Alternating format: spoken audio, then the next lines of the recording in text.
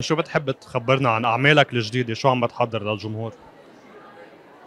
إيه عم بعمل عم بعمل مسلسلين لمسلسل رمضان اسمه اثنين تقريبا واحد اسمه بيروت 303 شو راح يكون دورك فيه؟ آه ما هيدي الأشياء علي ما بيخلوني أحكي فيها ما بعرف ليه. آه وفي فيلم تاني اسمه أول شيء 303 إخراج الي سمعان آه في عابد فهد آه سلافة معمار نادين الراسي. آه وفي أقل من عادي مسلسل كمان. إخراج نور ارناؤوط في مسلسل بس إنه بعدني عم عم بقراه بس هو إخراج رندا العلم كيف رضاك على الدراما اللبنانية؟ شو آخر مسلسل شفته؟ آه، الدراما اللبنانية ممتازة يعني صرنا بمحل متقدم جدا ولقدام إن شاء الله أحسن وأحسن. في الدراما اللبنانية اللي عم عم بتحوم حواليها الشركات اللي معروفة والمعهودة اللي عم تقعد تشاهد فهمتي آه، هيدي اللي م... اللي بتستحق إنه تنشاف. شو الدور اللي عبالك بعد تقدمه؟ اوهو في كتير ادوار كتير. من بعد ما السيره كلها نجاحات.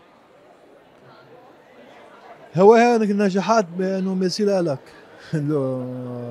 كثير ادوار يعني بدي بدي كثير بعد بدي كثير يعني في كثير إشياء بعد بدي أعملها. دائما كنت أقول أنا إنه كنت أقول كاليجولا اللي آه، تبع مسرحية دبلوم اللي عملتها.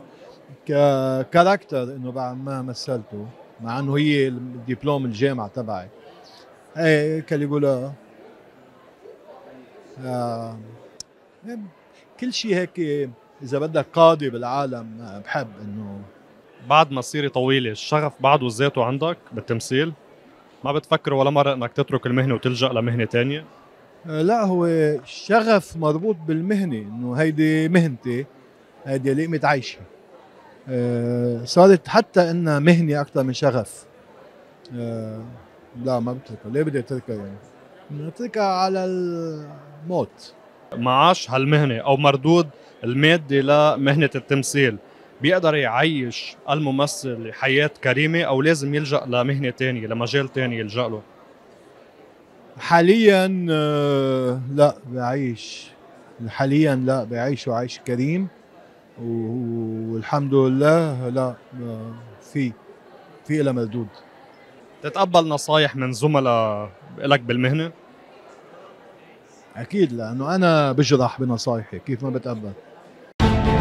لتعرفوا كافة الأخبار الفنية زوروا موقعنا الفن دوت كوم واشتركوا بقناتنا على اليوتيوب ليوصلكم كل جديد.